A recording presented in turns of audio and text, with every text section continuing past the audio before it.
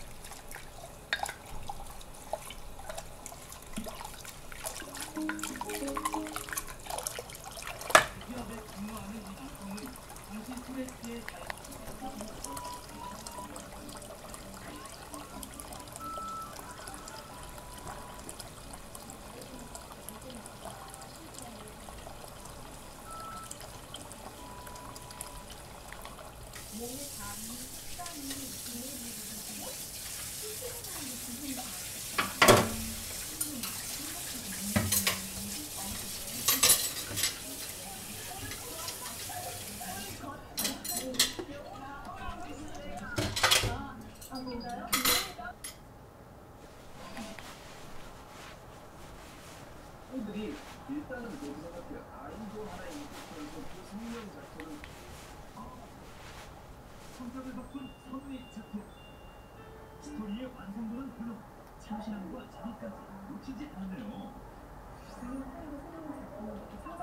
만들어낸다는 게 쉬운 일이 아닌데 정말 음, 다들 너무 잘 해줘서 고맙고 사실 우리가 보통 이제 창작을 한다고 하면 무에서 일을 창작한다고 생각을 하는데 사실은 창작은 발명이 아니라 발견이거든요.